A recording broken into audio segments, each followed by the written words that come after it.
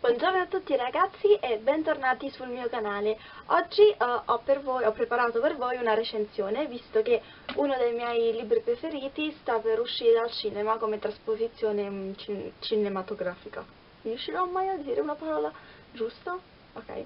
Il libro in questione è uh, L'ospite di Stephanie Meyer, che è, penso in assoluto, uno dei miei libri preferiti, se la batte con un'altra serie della quale uscirà il film ad agosto, quindi ci sarà una recensione di ogni volume di quella serie per voi nei prossimi mesi.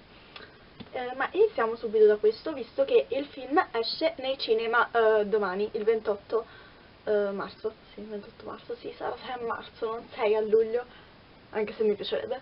Ehm, e questo qui è il libro. Tolgo il mio nastro perché ho la fissazione di usare nastri come segnalibri, quindi... Ah che ci posso fare, sono una pazza. Quindi eh, questo è il libro, questa è la copertina, molto molto molto bella a mio parere. Il libro è edito solo in brossura, da quanto io so, perché um, non ho mai visto un'edizione col cartonato. Almeno le vecchie edizioni, le prime, erano tutte um, così, in brossura. È, al prezzo, è venduto al prezzo di 12 euro dalla Bur Burbic Rizzoli eccolo qui. Questo è il retro. E sì, Stephanie Meyer è anche l'autrice di Twilight però uh, i due libri non potrebbero essere più diversi di, di come sono in realtà perché uh, se Twilight è il classico ur urban fantasy ma neanche urban fantasy, più paranormal romance con vampiri e licantropi questo è un libro mm, su alieni quindi proprio diverso, anche se ehm, penso sia la sua migliore opera.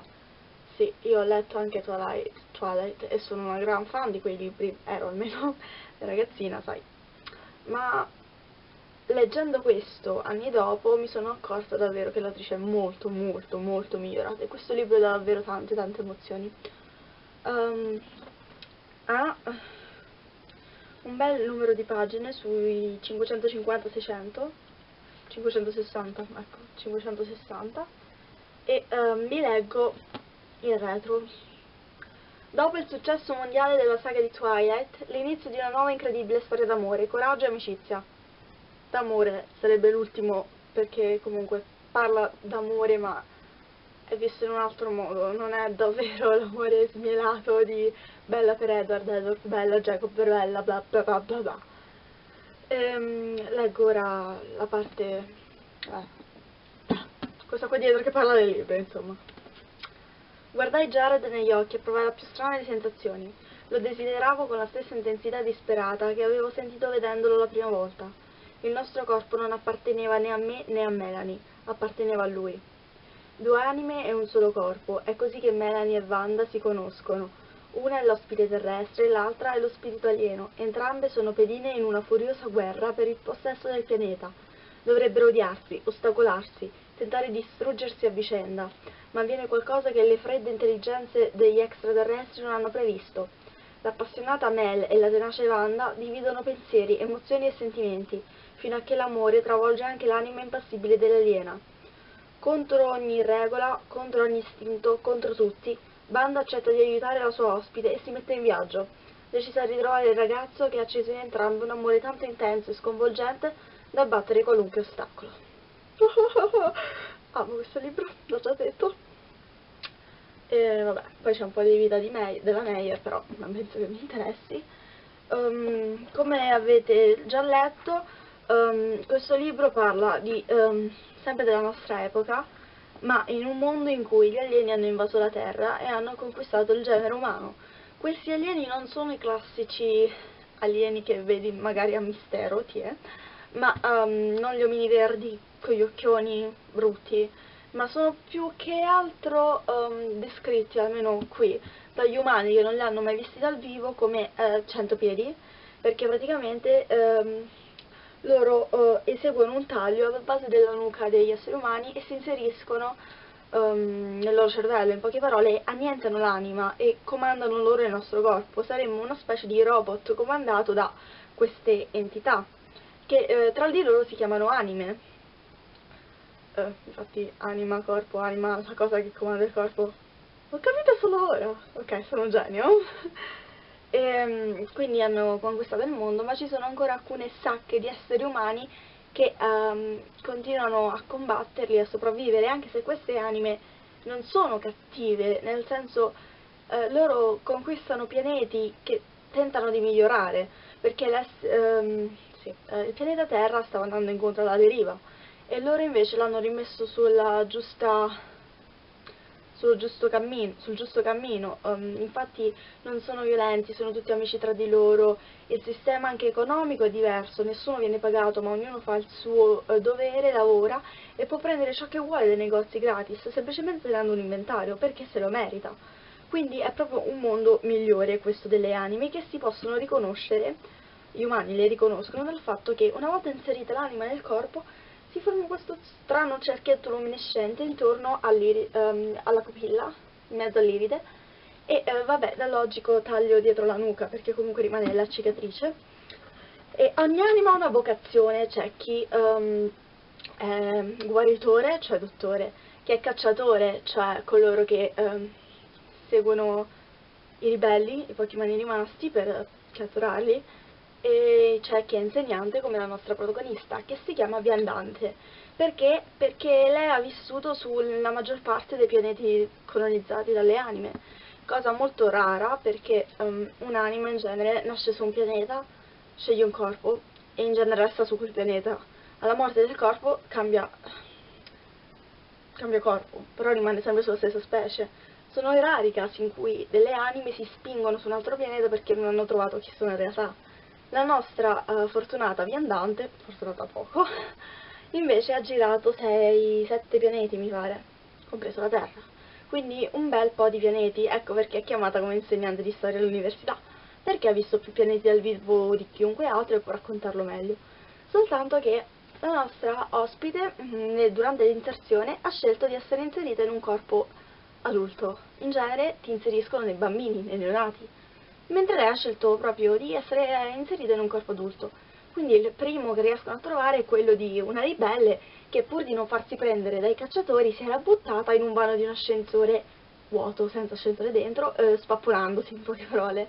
Solo che era rimasta viva e quindi avevano potuto inserirci quest'anima, per poi anche avere accesso ai suoi ricordi e scoprire dove erano magari altre persone che Scusate, ehm, ma ancora una volta mi era finita la memoria e quindi mi si è bloccato la macchinetta mentre io parlavo. Avevo finito di fare l'ascensione ma puntualmente si era bloccata all'inizio, quindi riprendiamo. Stavo dicendo che comunque quindi volevano anche sapere uh, se magari ci fossero stati altri compagni con lei e uh, dove trovarli.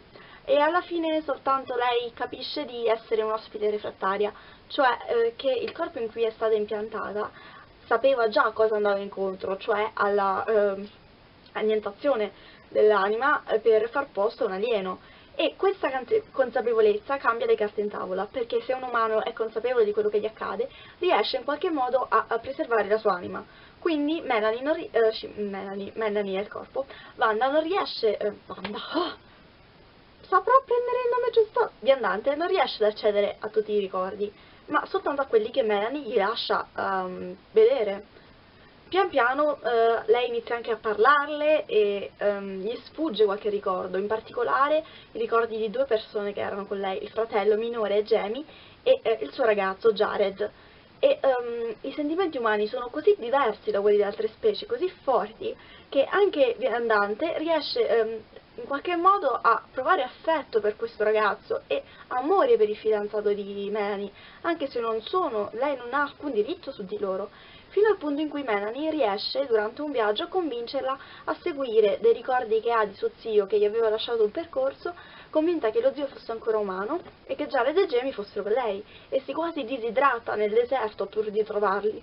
Dopo quattro giorni ci riesce, lo zio le trova, soltanto che eh, è l'unico a essere eh, leggermente gentile con loro, ma più che altro per curiosità verso la nuova specie, visto che Van, la viandante comunque non sembra la classica anima che si era spinta lì solo per trovarli, anche perché era quasi morta durante un viaggio e le anime non l'avrebbero mai fatto.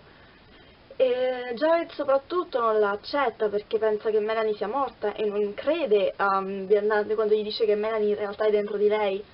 Eh, soltanto con il passare del tempo anche Jamie si affeziona a lei. Soprattutto mi piacevano molto le storie che lei raccontava al ragazzino eh, e all'università. Mi interessavano molto i vari mondi, c'erano il mondo degli orsi, c'era il mondo dei fiori, il mondo dei pipistrelli, eh, il mondo delle alghe, l'origine i draghi, i delfini, cioè ce n'erano davvero tantissimi mm, che ehm, non sono proprio corrispondenti agli animali di cui prendono il nome, ma per una o più ragioni ci assomigliano molto e questa è una delle parti davvero molto più interessanti di altre. E altre persone si affezionano a lei appunto come Jamie, un altro ragazzo Ian che all'inizio la odiava, e... solo che nessuno riesce poi alla fine davvero ad odiarla con il passare del tempo perché si vede che è davvero buona, non, non, dice, non dicono mai le bugie alle anime, ma lei pur di difendere qualcuno che comunque tenta di ucciderla lì dentro, mente e la gente capisce che comunque non vuole fare del male a nessuno, voleva soltanto ritrovare i ragazzi. E per varie vicissitudini poi ci saranno altri fatti e cose davvero uh, tristi, soprattutto mh, Banda, questo è il nome che poi danno a Viandante nella, nel rifugio, con questi altri umani, che sono ben 28, eh, sarà il fatto che è diventata talmente amica, talmente vicina a Melanie, da voler abbandonare il suo corpo e ridarlo a Melanie, traendo uno dei segreti tabù più importanti della sua specie. Insomma, è un libro che io davvero consiglio tantissimo, è ricco di emozioni, forse all'inizio è poco scorrevole, ma più si va avanti e più davvero non se ne può fare a meno. Eh, quindi più consigliato di così davvero si muore è un libro eccezionale, secondo il mio parere. Ho letto molti libri, ma questo davvero ha un posto particolare nel mio cuore. L'ho davvero adorato. Mi sono innamorata del pianeta degli orsi, per esempio, perché loro... Ah, leggete il libro. Non posso raccontarvelo io, leggete il libro. Anche perché se no farei più di quanto ho già fatto, spoiler sulla storia, vi direi tutto, e non voglio. Quindi quello che vi ho detto è appena un'infarinatura eh, sulla trama, un po', un po più approfondita per um, incuriosirvi. Uh, quindi sì, questo libro per me ha un voto 10 su 10 e uh, è davvero consigliatissimo a tutti, sia uomini che donne, di tutte le fasce d'età, perché non penso ci siano contenuti sconvolgenti per ragazzini, quindi sì, per chi è appassionato davvero legga questo libro perché è una cosa fantastica. Quindi questo è il libro e giovedì, no, giovedì non, non ci andrò domani al cinema ma ci andrò sabato e poi magari vi farò sapere se il film mi è piaciuto o meno. Quindi arrivederci, ci vediamo alla prossima, ciao!